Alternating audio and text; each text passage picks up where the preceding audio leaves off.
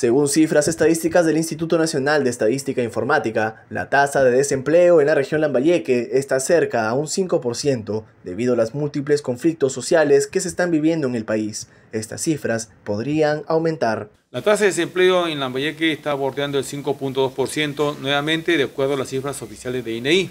Sin embargo, estimo que puede estar un poquito más alta, 5.5%, que ya de por sí también es alto respecto respecto a la tasa histórica que se manejaba en Lambayeque alrededor de un 4.2%. Y cuando se vino el tema del COVID, toda la pandemia y toda la crisis política, bueno, pues se disparó. La brecha salarial de los trabajadores de esta región se encuentra en un 80%, o sea, por debajo del sueldo mínimo de 1.025 soles. Estas estadísticas reflejan que el sector económico del departamento está sujeto a la informalidad. Un importante porcentaje de, trabajadores están todavía por debajo del mínimo.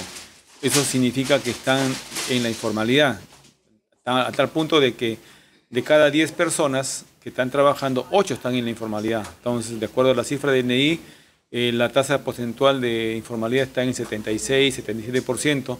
Sin embargo, estimo que estamos por encima del 80%. Por lo tanto, eh, de cada 10 trabajadores, 8 están en la informalidad y al estar en la informalidad están desprotegidos de los beneficios, están ganando menos del mínimo, etc. El director del Centro de Empleo de Lambayeque, Alberto Guzmán Enríquez, explica que a comparación de años anteriores, la situación no ha mejorado para bien. Ya preocupa que, se mantenga y esto se debe también a que este, la situación política no está ayudando mucho.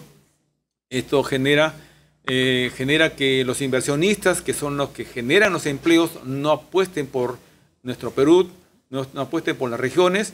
Eh, en, el sur ya no me imagino cómo estarán las cosas, debe estar peor todavía, pero en la medida que no, no, no es ajeno a esto. O sea, eso es lo que está impidiendo de que de repente no haya las mayores inversiones que generen oportunidades de empleo mucho más masivas. La autoridad indica que la gerencia del empleo estará descentralizando sus servicios en los municipios distritales para el mes de junio. Con esto se busca reducir las estadísticas de la tasa de desempleo del departamento. Dentro de esa línea, en la gerencia de trabajo está articulando con las municipalidades para descentralizar los servicios, para comprometer a los gobiernos locales y también con ellos sumar, eh, reducir la brecha que estamos hablando, ¿no? O sea, los alcaldes tienen que participar, hay un compromiso con 15 de ellos de aperturar las oficinas administrativas y esperamos que al 30 de junio podamos lograr ese objetivo de contar con 15 más 5 que teníamos 20 oficinas, que con lo cual ya pues estaríamos este, demostrando nuestro interés de descentralizar los servicios a favor de quienes realmente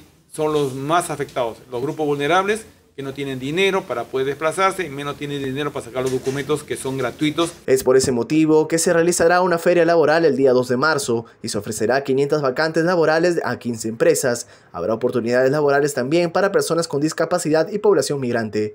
El evento se desarrollará desde las 9 de la mañana en el Paseo de la Justicia, ubicado en la calle Elías Aguirre, cuadra 1.